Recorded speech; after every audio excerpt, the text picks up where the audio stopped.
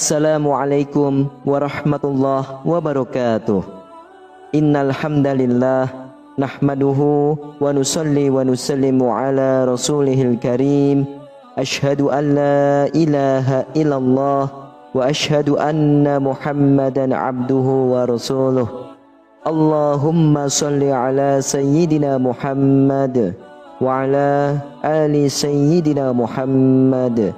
أما بعد.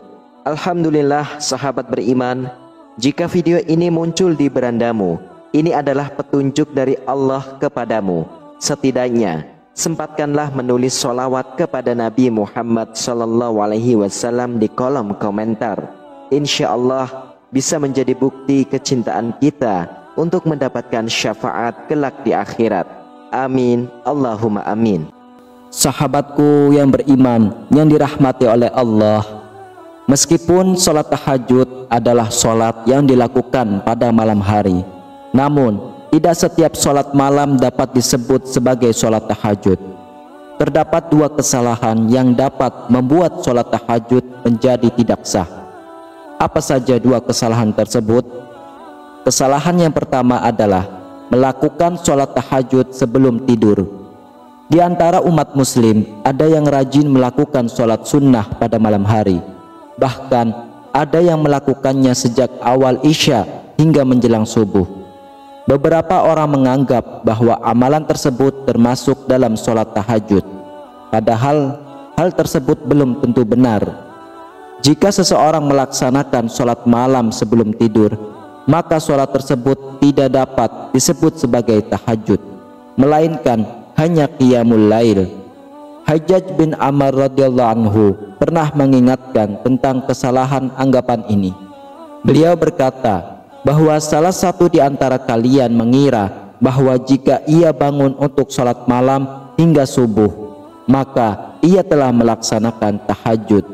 Padahal sebenarnya tahajud adalah melakukan sholat setelah tidur, kemudian tidur lagi, lalu sholat lagi setelah tidur Itulah solat yang dilakukan oleh Rasulullah Sallallahu Alaihi Wasallam. Jadi syarat utama untuk melakukan solat tahajud adalah telah tidur. Jika seseorang tidak tidur atau belum tidur, maka ia belum dapat melaksanakan solat tahajud dengan sah. Sulaiman Al-Jamal menjelaskan bahwa tahajud hanya dapat dilakukan setelah tidur. Syekh Mustafa Al-Bagha dalam At-Tazhibnya juga menjelaskan bahwa sholat malam dinamakan qiyamul lail dan dinamakan tahajud jika dilakukan setelah tidur. Tidur yang dimaksud di sini adalah keadaan di mana kesadaran dan fungsi panca indera hilang. Jika masih ada kesadaran dan kemampuan merasakan kondisi sekitar, maka itu bukan tidur, melainkan hanya rasa kantuk saja. Imam An-Nawawi menjelaskan bahwa perbedaan antara tidur dan kantuk adalah bahwa tidur melibatkan penurunan kesadaran dan hilangnya fungsi panca indera sedangkan kantuk hanya menyebabkan pelemahan panca indera tanpa kehilangan kesadaran.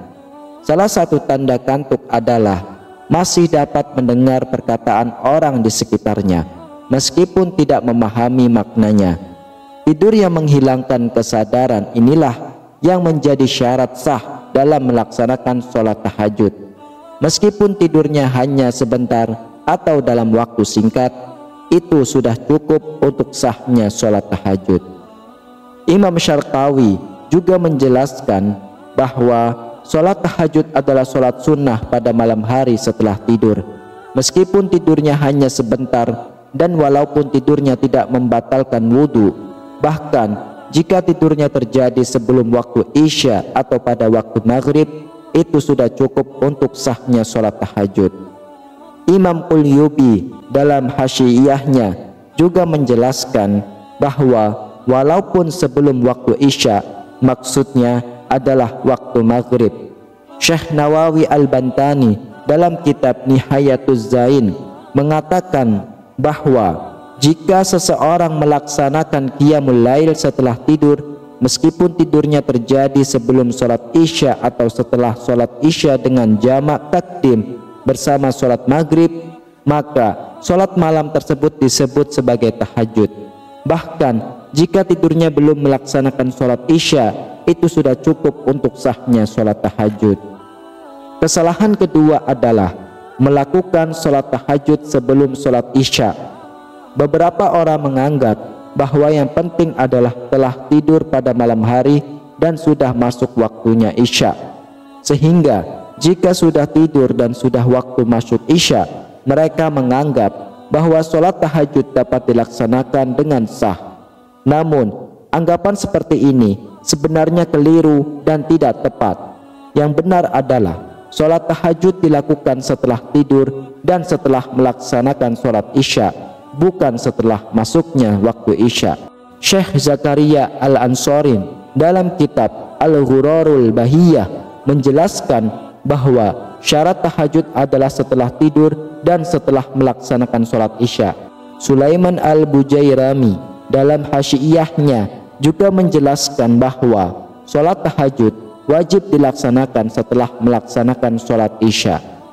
Syekh Ali Jum'ah menyatakan bahwa para ulama dari mazhab Hambali dan Syafi'i berpendapat bahwa waktu qiyamul lail dan witir terkait dengan sholat isya bukan dengan masuknya waktu isya. Jadi bagi siapa pun yang sudah melaksanakan sholat isya meskipun dengan jamak takdim bersama sholat maghrib sah bagi mereka untuk melaksanakan sholat witir dan qiyamul lail setelah itu. Jadi yang menentukan sahnya sholat tahajud bukan waktu masuknya isya melainkan sholat isya. Artinya jika kita ingin melaksanakan sholat tahajud setelah bangun malam namun belum melaksanakan sholat isya maka yang harus dilakukan terlebih dahulu adalah melaksanakan sholat isya kemudian baru melaksanakan sholat tahajud. Wallahu alam bisawab demikianlah yang bisa saya sampaikan dan bagikan. Semoga bermanfaat untuk kita semua. Amin amin ya rabbal alamin. Wassalamualaikum warahmatullahi wabarakatuh.